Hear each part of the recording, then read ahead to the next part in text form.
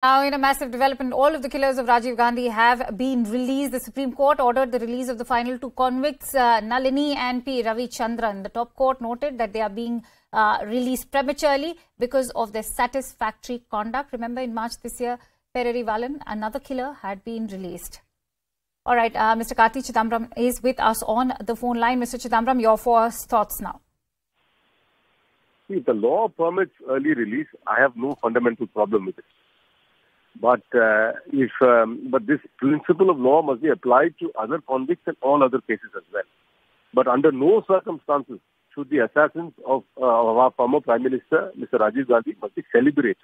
This is no reason to celebrate them. They are convicted assassins. It was a dastardly act against the nation, and a leader, a former Prime Minister, was assassinated. Under no circumstances would any celebration of these people would be tolerated or acceptable.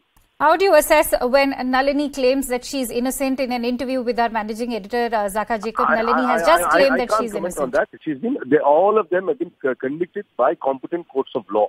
None of them have been acquitted. All of them have been convicted. But if the law permits convicted life convicts to be released after a certain length of time, I, I have no problems with that. And it, but that same principle must apply to life convicts in other cases as well, not only in this case. It must be equally applied to other cases as well. But again, I reiterate, the assassins of Rajiv Gandhi cannot be celebrated under any circumstance. All right, they, they're not being celebrated, but the court has been very clear that their conduct, in fact, called for release. That they were satisfied with the kind of conduct that, that was being observed. As I said, I've again, again, I'm repeating myself. I have no problem with their release if the law permits it. But post their release, if there is any celebration of them, that will be an assault on the on the integrity of India, on the idea of India, and it will be an, an, an insult to the memory of Rajiv Gandhi. Also, would you like to comment on uh, the the role that the Gandhis have played in forgiving uh, the convicts? I, I, don't think so. This is no, no, no. This is a purely a legal proceeding. Right. In India, there is no role for third parties to intervene in a criminal case. It is between the state and the person. Karti, why I ask you this is because other members of the Congress party have also, uh, have also lauded the magnanimity. Now, people might. I, I, I have no intention of forgiving the killers of Rajiv Gandhi. Let us be very clear about it. I personally do not have any intention of forgiving the assassins of Rajiv Gandhi.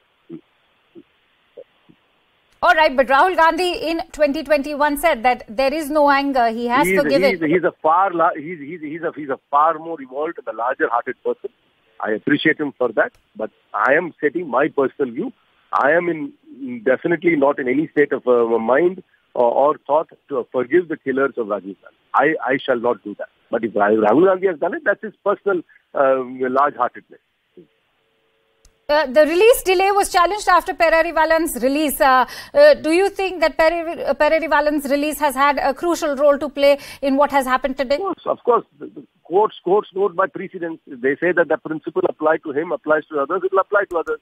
But all I'm saying is this principle must apply to all life convicts and other cases as well. It cannot, this case cannot only be looked at in isolation. This must apply to life convicts and other cases. There are hundreds of cases of life, uh, life convicts in jail today. This principle must apply to them as well. But as I again saying, I have no co- comment about, I have no quibble with the application of the law. All I'm saying is that these convicted assassins cannot be celebrated. And I have, I am definitely in no mood to forgive or to forget the dastardly assassination of Rajiv Gandhi.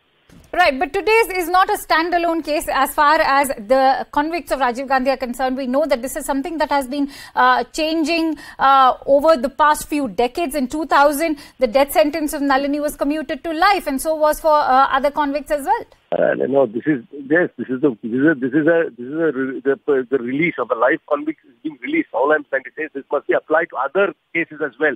There might be other convicts in other cases for, uh, for, for murder and uh, who are in jail, who are, who are convicted for life. The same principle of law must, must apply to them. They can't, they can't be a different standard for the uh, for release for the assassins of Rajiv Gandhi and for other life convicts in other cases. That's all I'm trying to say. And again, why I'm do you say that? that Karti, my last question before I let you go. Uh, why do you say that there are other parameters for other convicts?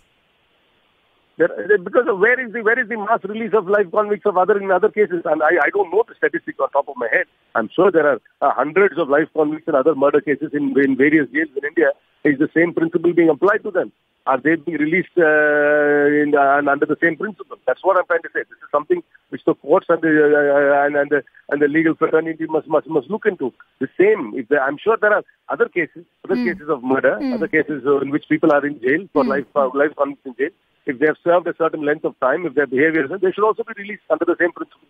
All right. Many The thanks to point you. is this: let us not let us let us let us not celebrate the assassins of Rajiv Gandhi in any form or manner. This is not a vindication of them. This is not an exoneration of them. All of them have been convicted by various courts and over the years. So do not ever diminish the assassination of Rajiv Gandhi. I again ask you, what do you make of the statement when Nalini claims innocence? Then then then she should file a review petition and get his conviction overturned. I do not know. I think she's exhausted all her uh, legal remedies. She's been convicted in various levels of court. She claims she's innocent. Then she should. Then the entire legal process in India, the entire legal system of India of appeals have as a failed. So she should remedy through whatever uh, legal methods which are. All right, Karti Chidambaram, many thanks to you for speaking to us here at CNN News 18. Let's go.